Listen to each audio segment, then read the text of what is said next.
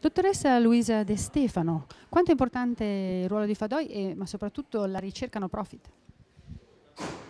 Fadoies rappresenta um, un'importante un organizzazione, soprattutto un importante momento annuale di riflessione su una tematica come quella della ricerca indipendente che è sempre più importante, lo, lo è da sempre, ma che oggi sta diventando sempre più importante per guidare anche le strategie eh, farmacoeconomiche e anche la, la, visione di nuovi scenari eh, sistema, del sistema salute. Eh, per quanto riguarda eh, la giornata di oggi nello specifico, credo che ci sia stato un nuovo punto eh, di, importante di partenza che Fadoi ha raccolto, che è quello della centralità della persona nella ricerca indipendente, che è eh, un'evoluzione di quello che da anni, su, mm, su quello su cui da anni stiamo lavorando come anche organizzazione e come, eh, mm, come tutti gli attori che sono coinvolti nella ricerca indipendente o dipendente.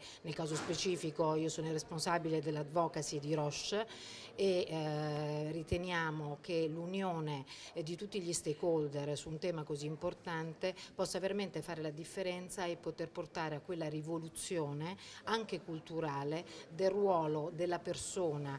che poi è anche paziente o è supporto del paziente come caregiver nella, nella ricerca e nella, nello sviluppo della ricerca stessa che sia indipendente, profit o non profit.